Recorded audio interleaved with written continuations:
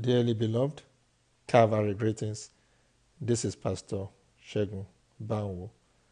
Today, I pray that you will worry less about your enemies and focus more on pleasing God.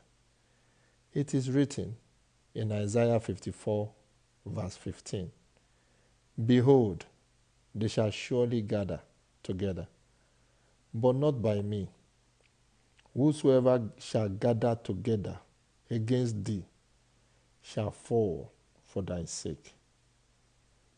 While it can be painful to be the object of attack, it is comforting to remember that there is nothing you can do to stop the wicked from abounding in wickedness.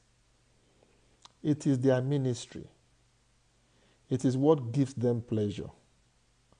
That was why they still crucified Jesus, even though he opened the eyes of the blind. He made the lame to walk. He raised the dead and fed thousands of people free of charge.